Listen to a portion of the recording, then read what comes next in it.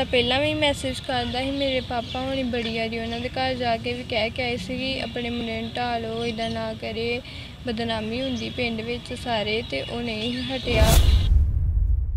ਮੇਰੇ ਘਰਦਿਆਂ ਨੇ ਵੀ ਬੜੀ ਵਾਰੀ ਕਿਹਾ, ਆਪਾਂ ਵੀ ਬੜਾ ਸਮਝਾਇਆ ਕਿ ਇਦਾਂ ਨਹੀਂ ਕਰਨਾ ਸਹੀ, ਚਾਹੀਦਾ ਕਿਸੇ ਦੀ ਧੀ ਭੈਣ ਨਾਲ, ਪਰ ਉਹ ਮੁੰਡਾ ਨਹੀਂ ਸੀ ਹਟਦਾ।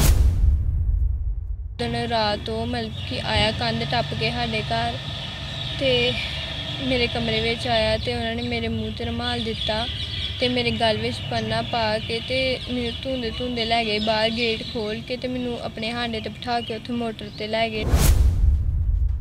ਮੇਰੇ ਡੈਡੀ ਨੇ ਤੇ ਵੈਸੇ ਅਣਖ ਦੇ ਖਾਤਰ ਹੀ ਉਹਨਾਂ ਨੂੰ ਮਾਰਿਆ ਕਿਉਂਕਿ ਮੇਰਾ ਡੈਡੀ ਝੱਲ ਨਹੀਂ ਸਕਦਾ ਕਿ ਮੇਰੀ ਕੁੜੀ ਦੀ ਬਦਨਾਮੀ ਹੋਵੇ।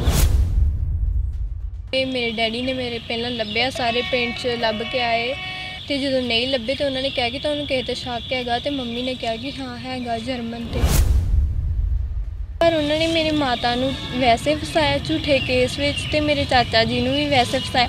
ਉਹ ਤੇ ਵਿਚਾਰੇ ਹੁਣ ਜੇਲ੍ਹ ਕੱਟਣ ਦੇ ਨਾ, ਉਹ ਪਤਾ ਨਹੀਂ ਹੁਣ ਕਿਦੋਂ ਆਉਣਗੇ ਤੇ ਆਪਾਂ ਤੇ ਰੁਲ ਗਏ ਨਾ ਪਿੱਛੇ।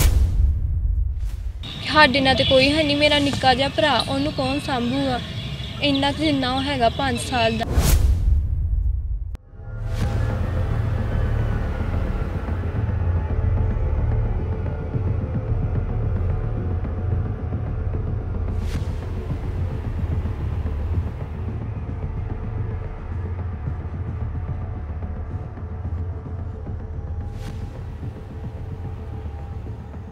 ਕਿੰਨੀ ਤੁਹਾਡੀ ਕੀ ਹੋਇਆ ਸੀ ਉਸ ਰਾਤ? ਮੇਰੀ 15 ਸਾਲ ਉਮਰ ਆ ਤੇ ਉਹ ਮੁੰਡਾ ਪਹਿਲਾਂ ਵੀ ਮੈਸੇਜ ਕਰਦਾ ਸੀ, ਮੇਰੇ ਪਾਪਾ ਹੋਣੀ ਬੜੀ ਵਾਰੀ ਉਹਨਾਂ ਦੇ ਘਰ ਜਾ ਕੇ ਵੀ ਕਹਿ ਕੇ ਆਏ ਸੀ ਕਿ ਆਪਣੇ ਮੁੰਡੇ ਨੂੰ ਢਾਹ ਲਓ ਇਦਾਂ ਨਾ ਕਰੇ, ਬਦਨਾਮੀ ਹੁੰਦੀ ਪਿੰਡ ਵਿੱਚ ਸਾਰੇ ਤੇ ਉਹ ਨਹੀਂ ਹਟਿਆ।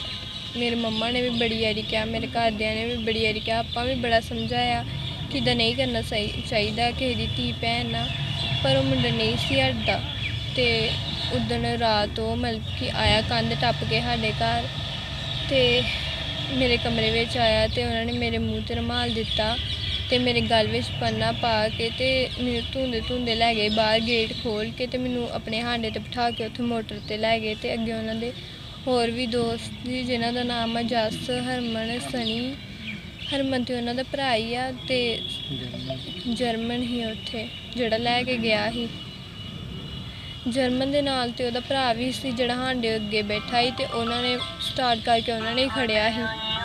ਤੇ ਮੇਰੇ ਡੈਡੀ ਨੇ ਤੇ ਵੈਸੇ ਅਣਖ ਦੇ ਖਾਤਰ ਹੀ ਉਹਨਾਂ ਨੂੰ ਮਾਰਿਆ ਕਿਉਂਕਿ ਮੇਰਾ ਡੈਡੀ ਝੱਲ ਨਹੀਂ ਸਕਦਾ ਕਿ ਮੇਰੀ ਕੁੜੀ ਦੀ ਬਦਨਾਮੀ ਹੋਵੇ। ਨਾਲੇ ਉਦਣ ਰਾਤੀ ਮੇਰੇ ਘਰਦਿਆਂ ਨੂੰ ਇਦਾਂ ਪਤਾ ਲੱਗਾ ਸੀ ਕਿ ਮੇਰੇ ਚਾਚਾ ਜੀ ਨੇ ਜਾਣਾ ਸੀ ਮੋਟਰ ਤੇ ਤੇ ਮੇਰੇ ਡੈਡੀ ਕਹਿੰਦੇ ਕਿ ਆਪਾਂ ਵੀ ਜਾਣਾ ਮੋਟਰ ਤੇ ਪਾਣੀ ਲਾਉਣ ਤੇ ਤੁਸੀਂ ਤੁਸੀਂ ਮੈਨੂੰ ਵੀ ਦੱਸ ਦਿਓ, ਆਪਾਂ ਇਕੱਠੇ ਚੱਲ ਜਾਾਂਗੇ। ਤੇ ਉਹ ਕਹਿੰਦੇ ਸੀ ਚਲੋ ਠੀਕ ਆ, ਮੈਂ ਦੱਸ ਦੂੰਗਾ। ਤੇ ਜਦੋਂ ਦੱਸਣ ਆਏ ਸਾਡੇ ਘਰ, ਗੇਟ ਖੜਕਾਉਣ ਲੱਗੇ ਤੇ ਉਹਨਾਂ ਨੇ ਵੇਖਿਆ ਕਿ ਗੇਟ ਤੇ ਖੁੱਲਾ ਸੀ। ਤੇ ਫਿਰ ਉਹਨਾਂ ਨੇ ਮੇਰੇ ਘਰਦਿਆਂ ਨੂੰ ਉਠਾ ਲਿਆ। ਉਹਨਾਂ ਨੇ ਵੇਖਿਆ ਕਿ ਨਿਆਣੇ ਵੇਖੋ ਪੂਰੇ ਆ। ਤੇ ਵੇਖ ਲਓ, ਕੋਈ ਚੋਰੀ ਵਗੈਰਾ ਤੇ ਨਹੀਂ ਹੋਈ। ਤੇ ਜਦੋਂ ਉਹਨਾਂ ਨੇ ਵੇਖਿਆ ਕਿ ਸਾਡੇ ਨਿਆਣੇ ਹੈ ਨਹੀਂ ਇੱਕ, ਤੇ ਫਿਰ ਉਹ ਲੱਭਣ ਲੱਗ ਗਏ ਤੇ ਉਹਨਾਂ ਨੇ ਮੇਰੇ ਡੈਡੀ ਨੇ ਮੇਰੇ ਪਹਿਲਾਂ ਲੱਭਿਆ, ਸਾਰੇ ਪਿੰਡ 'ਚ ਲੱਭ ਕੇ ਆਏ। ਤੇ ਜਦੋਂ ਨਹੀਂ ਲੱਭੇ ਤੇ ਉਹਨਾਂ ਨੇ ਕਿਹਾ ਕਿ ਤੁਹਾਨੂੰ ਕਿਸੇ ਤੇ ਸ਼ੱਕ ਹੈਗਾ ਤੇ ਮੰਮੀ ਨੇ ਕਿਹਾ ਕਿ ਹਾਂ, ਹੈਗਾ ਜਰਮਨ ਤੇ। ਤੇ ਫਿਰ ਉਹਨਾਂ ਨੇ ਉਹਨਾਂ ਦੇ ਡੈਡੀ ਨੂੰ ਫੋਨ ਲਾਇਆ ਤੇ ਫਿਰ ਉਹਨਾਂ ਨੇ ਅੱਗੇ ਉਹਨਾਂ ਨੂੰ ਫੋਨ ਲਾਇਆ ਤੇ ਜਦੋਂ ਉਹਨੂੰ ਪਤਾ ਲੱਗਾ ਕਿ ਮੈਨੂੰ ਸਾਰੇ ਜਾਣੇ ਲੱਭਣ ਦੇ, ਤੇ ਫਿਰ ਉਹਨੇ ਮੈਨੂੰ ਥੋੜੀ ਜਿਹੀ ਗਾਂ ਸੜਕ ਉੱਤੇ ਛੱਡ ਗਿਆ। ਬਾਅਦ 'ਚ ਕਹਿੰਦਾ ਤੁਰ ਕੇ ਚੱਲ ਜਾ, ਬਾਅਦ 'ਚੋਂ ਪਤਾ ਨਹੀਂ ਕਿੱਥੇ ਚੱਲ ਗਿਆ। ਜਦੋਂ ਮੈਸੇਜ ਕਰਦਾ ਸੀ ਕਦੀ ਪਹਿਲਾਂ ਅ, ਪੁਲਿਸ ਕੋਲ ਕੰਪਲੇਂਟ ਕੀਤੀ ਸੀ ਉਹਦੀ? ਨਹੀਂ। ਡੈਡੀ ਨੇ ਉਦੋਂ ਬਸ ਉਹਨਾਂ ਦੇ ਘਰ ਜਾ ਕੇ ਕਹਿ ਕੇ ਹੁੰਦਾ ਰਿਹਾ ਸੀ ਕਿ ਇਦਾਂ ਭਾਵੇਂ ਸੁਧਰ ਜੇ ਘਰ ਦੇ ਹੀ ਸਮਝਾ ਲੈਣ ਜ਼ਿਆਦਾ ਲੋੜ ਨਾ ਪਵੇ ਸਮਝਾਉਣ ਦੀ। ਲੇਕਿਨ ਹੁਣ ਦੇਖਿਆ ਜਾਵੇ ਚਾਰ ਕਤਲ ਹੋ ਗਏ ਨੇ। ਤੁਸੀਂ ਵੀ ਇਨਸਾਫ ਦੀ ਮੰਗ ਕਰ ਰਹੇ ਹੋ ਦੂਸਰੀ ਪਾਰਟੀ ਵੀ ਇਨਸਾਫ ਦੀ ਮੰਗ ਕਰ ਰਹੀ ਹੈ। ਤੇ ਕਤਲ ਤਾਂ ਹੀ ਹੋਏ ਕਿਉਂਕਿ ਮੇਰਾ ਡੈਡੀ ਕਿਸੇ ਨੂੰ ਝਾਲ ਨਹੀਂ ਸੀ ਸਕਦਾ ਕਿ ਉਹਨਾਂ ਦੀ ਬਦਨਾਮੀ ਹੋਵੇ। ਜਿਹੜਾ ਬੰਦਾ ਬੰਦਿਆਂ ਵਿੱਚ ਬਹਿੰਦਾ ਉਹ ਕਿਸੇ ਦੀ ਗੱਲ ਨਹੀਂ ਸੁਣ ਸਕਦਾ। ਤੁਸੀਂ ਤੁਸੀਂ ਇਹ ਮੰਨਦੇ ਹੋ ਕਿ ਅਗਰ ਪੁਲਿਸ ਕੋਲ ਪਹਿਲਾਂ ਚਲੇ ਜਾਂਦੇ ਤਾਂ ਅੱਜ ਇਹ ਹਾਲਾਤ ਨਾ ਵੈਸੇ ਵੀ ਪੁਲਿਸ ਨੇ ਕੋਈ ਕਰਨਾ ਤੇ ਹੈ ਨਹੀਂ ਸੀ ਇੰਨਾ। ਅਗਰ ਚਲੇ ਜਾਂਦੇ ਤੇ ਅੱਜ ਤੁਹਾਡੇ ਡੈਡੀ ਤੁਹਾਡੇ ਕੋਲ ਹੁੰਦੇ ਤੇ ਉਹ ਵੀ ਚਾਰ ਜਣੇ ਜਿੰਦੇ ਹੁੰਦੇ। ਹਾਂਜੀ ਇਹ ਗੱਲ ਤੇ ਹੈਗੀ ਪਰ ਉਹਨਾਂ ਨੇ ਮੇਰੀ ਮਾਤਾ ਨੂੰ ਵੈਸੇ ਫਸਾਇਆ ਝੂਠੇ ਕੇਸ ਵਿੱਚ ਤੇ ਮੇਰੇ ਚਾਚਾ ਜੀ ਨੂੰ ਵੀ ਵੈਸੇ ਫਸਾਇਆ। ਉਹ ਤੇ ਵਿਚਾਰੇ ਹੁਣ ਜੇਲ੍ਹ ਕੱਟਣ ਦੇ ਨਾ ਉਹ ਪਤਾ ਨਹੀਂ ਹੁਣ ਕਿਦੋਂ ਆਉਣਗੇ ਤੇ ਆਪਾਂ ਤੇ ਰੁਲ ਗਏ ਨਾ ਪਿੱਛੇ। ਸਾਡੇ ਨਾਲ ਤੇ ਕੋਈ ਹੈ ਨਹੀਂ ਮੇਰਾ ਨਿੱਕਾ ਜਿਹਾ ਭਰਾ ਉਹਨੂੰ ਕੌਣ ਸੰਭੂਗਾ?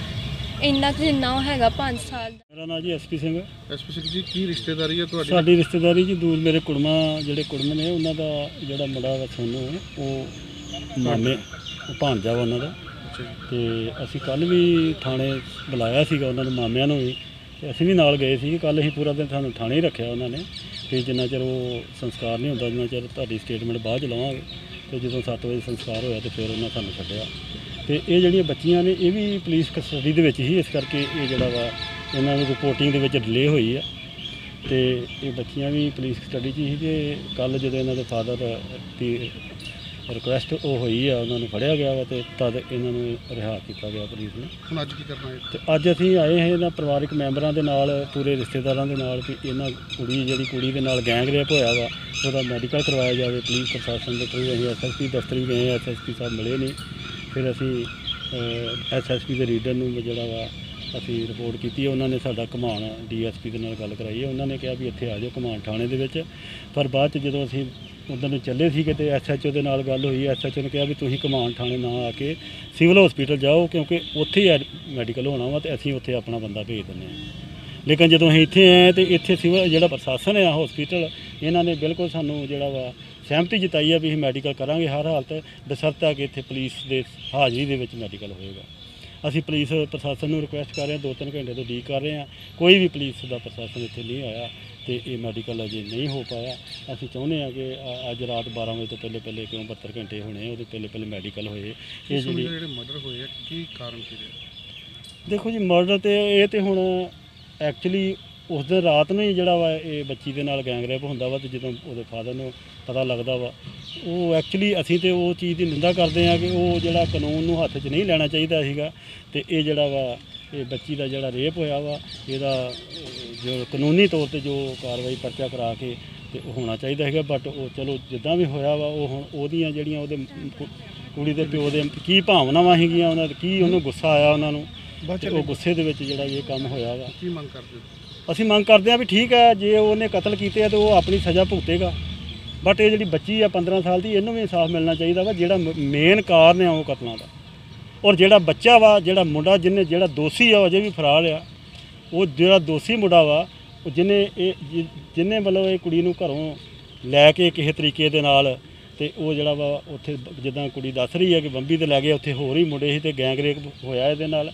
ਤੇ ਉਹ ਜਿਹੜੀ ਚੀਜ਼ ਹੈ, ਇਹ ਕੁੜੀ ਨੂੰ ਇਨਸਾਫ ਮਿਲਣਾ ਚਾਹੀਦਾ, ਬੱਚੀ ਨੂੰ ਜਿਹੜੀ ਨਾਬਾਲਗ ਬੱਚੀ ਆ। ਤੇ ਉਹਨਾਂ ਨੂੰ ਵੀ ਜਿਹੜੀ ਆ ਦੋਸ਼ੀਆਂ ਨੂੰ ਸਜ਼ਾ ਮਿਲਣੀ ਚਾਹੀਦੀ ਆ। ਤੇ ਜਿਹਨੇ ਦੋ ਕਤਲ ਕੀਤੇ ਉਹਨੂੰ ਤਾਂ ਸਜ਼ਾ ਆਪੇ ਅਦਾਲਤ ਦੇਗੀ। ਭਾਰਤ ਵਿੱਚ ਪਹਿਲੀ ਵਾਰ ਸ਼ੁੱਧ ਜਲ ਲੰਗਰ ਸੇਵਾ ਸ਼ੁਰੂ। Pure water healthy life NGO Australia ਵੱਲੋਂ ਭਾਰਤ ਦੇ ਪਿੰਡਾਂ ਵਿੱਚ ਹਰ ਵਰਗ ਨੂੰ ਪੀਣ ਵਾਲਾ ਸ਼ੁੱਧ ਪਾਣੀ ਮੁਹੱਈਆ ਕਰਵਾਉਣ ਦੀ ਮੁਹਿੰਮ। ਪੰਜਾਬ ਦੇ ਜ਼ਿਲ੍ਹਾ ਸ਼ਹੀਦ ਭਗਤ ਸਿੰਘ ਨਗਰ ਦੇ ਪਿੰਡ ਪਰੋਮਜਾਰਾ ਰਾਣੂਆ ਤੋਂ ਸ਼ੁਰੂ।